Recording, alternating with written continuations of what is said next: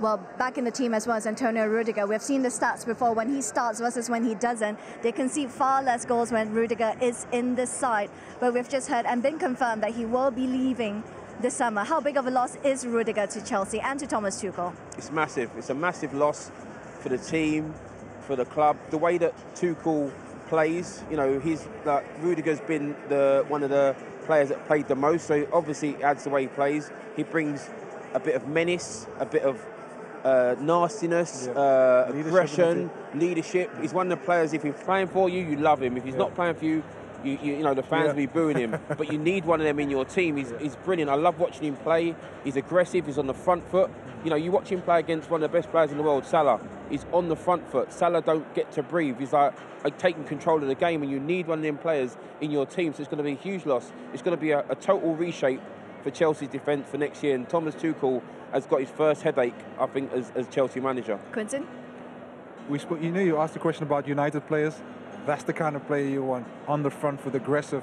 He's not, probably not the most technical player like Thiago, but his energy he brings to the team, his leadership in the team, he demands it. Just the way, against Salah.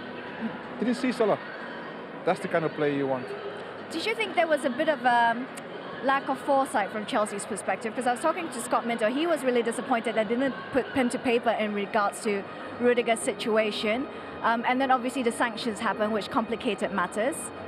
You, you know what? If obviously we're, we're not privy to the figures, but you know, obviously Chelsea is trying to do what's best for them, and obviously we see some of the figures. If, if maybe, if, for example, someone's asking for 400 a week, and they're saying we can't do that, and sometimes negotiations just don't go, and, and, someone's like, well, we want more, and negotiations go on for a long. There's a lot of these these modern day contracts. There's so much detail in it, and if it doesn't go the right way, the next minute you look in, he can sign for someone else. So, you know, the disappointment, yeah, that he's gone. Could he got it sorted? If you just say, here, have what you want, open checkbook, yeah. then maybe get sorted. But it's, it's not always that easy.